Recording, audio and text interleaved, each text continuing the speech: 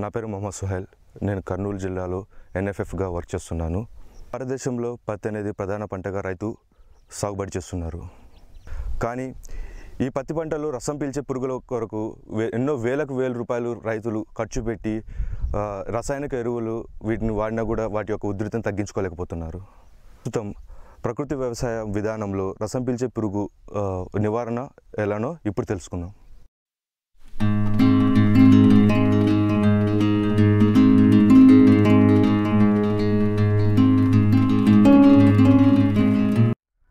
నమస్కారం. నా పేరు అయ్యస్వామి. కర్నూలు జిల్లా కల్లూరు మండలం బొల్లారం క్లస్టర్లో ఈ ప్రకృతి వ్యవసాయంలో సీఏగా పనిచేస్తున్నాను. నా భారతదేశంలో పండించే పంటలలో ప్రతి ప్రధాన పంట. మన ప్రతి పంటల్లో వచ్చు రసం పీల్చే పురుగుల యజమాన్యం గురించి తెలుసుకుందాం. మన ప్రతి పంటలో ఆశించే రసం పీల్చే పురుగుల్లో ప్రధానమైనది పచ్చదోమ తెల్లదోమ పేనుబంక.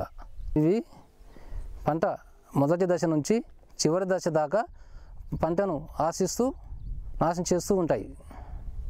మరి ఈ యొక్క పురుగులు పంటను ఏ విధంగా నాశనం చేస్తాయో వాటి ప్రభావం పంటపై ఏ విధంగా ఉంటుందో తెలుసుకుందాం. ముందుగా తెల్లదోమ పచ్చదోమ ప్రతి విత్తనం మొలకెత్తిన పదహైదు ఇరవై రోజుల మధ్యలో మొక్కను ఆశ్రయిస్తుంది. చూడన్న ఇది దీనిని పచ్చదోమ అంటారు. ఇది రసం పీల్చే పురుగులో ఒక రకము. ఇది మొక్క పదహైదు రోజుల నుండి మొదలవుతుంది. ఇది మొక్క యొక్క రసం పీల్చుకొని ఆకులను ముడుచుకునేలా చేసి మొక్క యొక్క పెరుగుదల ఆగిపోయేలా చేస్తుంది.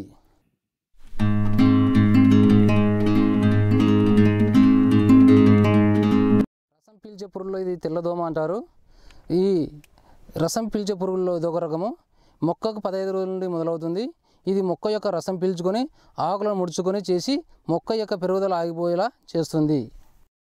మొక్క యొక్క ఆకు అడుగు భాగాన చేరి ఆకులోని రసం పిలి మొక్క యొక్క పెరుగుదల అలాగే పూత పిందె పెరుగుదల ఎందు ప్రభావం చూపుతుంది.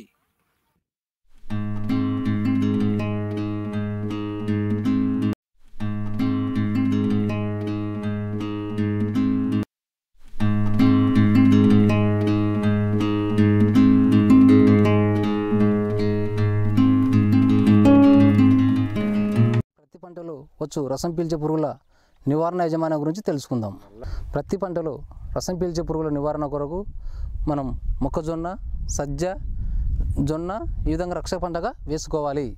అదేవిధంగా రక్షక పంటలు వేసుకోవడం వలన పక్క పంట నుంచి వచ్చు పురుగులను ఈ రక్షక పంటలు రాకుండా అడ్డుకుంటాయి.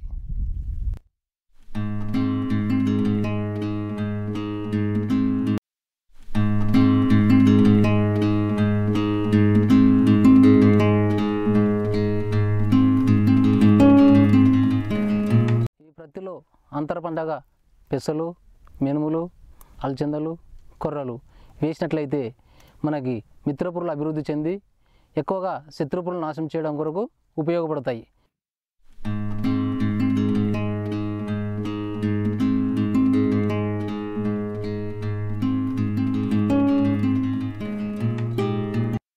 ప్రతి పంటలో అంతర పంటగా కంది కూడా వేసుకోవచ్చు.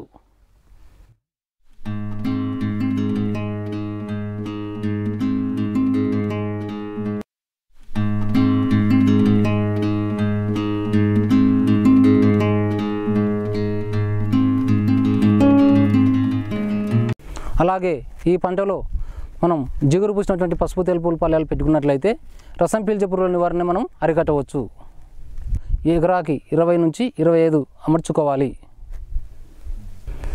ఈ విధంగా మనం జిగురు పూసినటువంటి పసుపు తెలుపు పల్లెములు అమర్చుకోవడం వలన ఈ రసం పీల్చే పురుగులు ఇక్కడ తిరగడం వలన ఇక్కడ అతుక్కొని చనిపోవడం జరుగుతుంది. ఈ విధంగా పెట్టడం వల్ల రసం పీల్చే పురుగుల నివారణ కొంతవరకు మనం నివారించుకోవచ్చు. లింగాకర్ష బుట్టాలు అంటాము. ఇవి ఒక ఎకరాకి ఐదు చొప్పున పెట్టుకున్నట్లయితే మనం ఈ ఇంట్లో ఈ లింగాకర్ష బుట్టలో మన ఆడవాసనకు సంబంధించిన లూరు ఉంటుంది. ఈ చుట్టుపక్కల మొగ జాతి పురుగులు తిరుగుతూ ఉంటాయి. ఈ మొగ జాతి పురుగులు ఈ ఆడవాసనకి వచ్చి దీంట్లో బంధించడం వల్ల సంపర్కం అనేది ఆగిపోయి పురుగుల యొక్క ఉద్రిక్తను మనం తగ్గించుకోవచ్చు.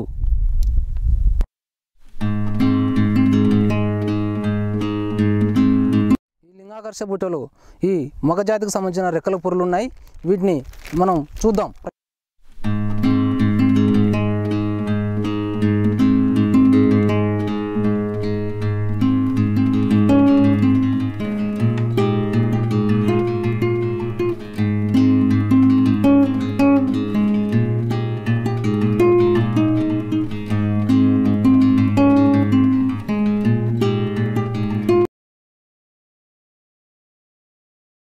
విధంగా మనం మొక్క నాటినప్పటి నుంచి ఇరవై రోజుల నుంచి మనం వేపక కషాయం చేసుకోవాలి. ఈ విధంగా చేయడం వల్ల రసం పీల్చే పురుగులను పూర్తిగా మనం నివారించుకోవచ్చు. ఈ వేప కషాయాన్ని ఏ విధంగా తయారు చేసుకోవాలో ఓసారి చూద్దాం. ఒక ఎకరా పొలంలో మన ప్రతి పంటకు నిమాసనం తయారు చేసుకోవాలంటే ప్రధానంగా మనకు ఈ యొక్క ప్లాస్టిక్ డ్రమ్ము ఉండాలి. మరియు రెండు వందల లీటర్ల నీళ్ళు తీసుకోవాలి. పది కేజీల వేపాకుల గుజ్జు. రెండు కేజీల తాజా ఆవు పేడ పది లీటర్లు ఆవు మూత్రం. ఈ విధంగా రెండు వందల లీటర్ల నీళ్ళలో పది కేజీల వేపాకు ముద్ద పది లీటర్ల ఆవు మూత్రము రెండు కేజీల తాజా తాజా ఆవు పేడని మనం కలుపుకోవాలి.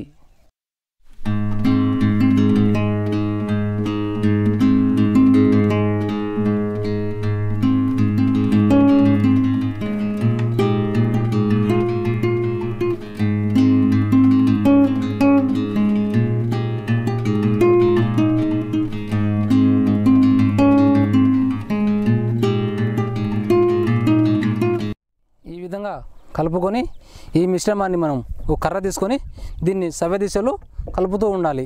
ఉదయము మధ్యాహ్నము సాయంత్రం పూట వేళలో మనం ఇరవై కలుపుతూ ఉండాలి. ఇరవై నాలుగు గంటల తర్వాత మనం ఉపయోగించుకోవచ్చు.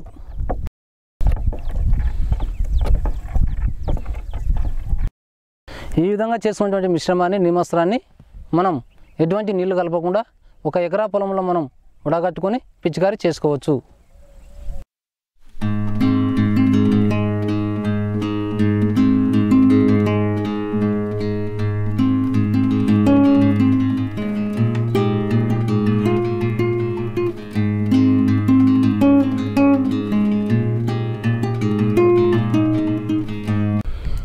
విధంగా తయారు చేసినటువంటి నిమాస్త్రాన్ని మనం ప్రతి పంటపై పదహైదు రోజులకు ఒకసారి పిచికారీ చేసినట్లయితే పూర్తిగా రసం పీల్చే పురుగులను మనం నివారించుకోవచ్చు.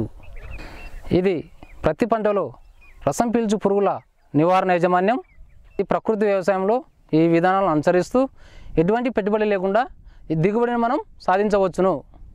కాబట్టి రైతు సోదరులారా అందరూ ఈ యొక్క ప్రకృతి వ్యవసాయ పద్ధతిని అనుసరించి మం- మంచి దిగుబడులు సాధిస్తారని కోరుకుంటున్నాను.